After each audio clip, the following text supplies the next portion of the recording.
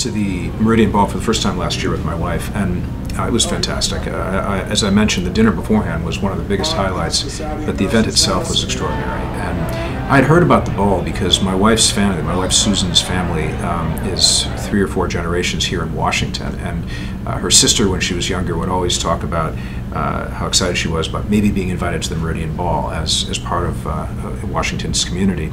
Uh, but when I was overseas, I would also hear other ambassadors mention how much fun they had there. So it really is not only a great convening event, but it's an institution, and it really is an important part of Washington, D.C., and it always exceeds expectations.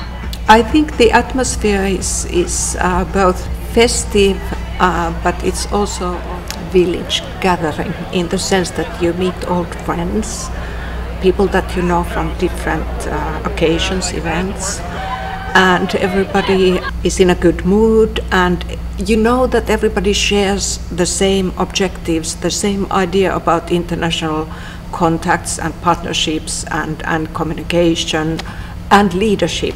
So uh, it, it has a great sort of um, impact in boosting uh, the motivation for your work and and uh, and it's great to see good friends and old friends and also make new acquaintances. So I think it is a great testimony to the commitment of everybody involved and uh, the, that commitment is, is very, very important. Well, as any politician, I come bearing gifts. So what I have tonight is a ceremonial resolution passed unanimously by the Council of the District of Columbia. Isn't that unbelievable? The resolution concludes as follows.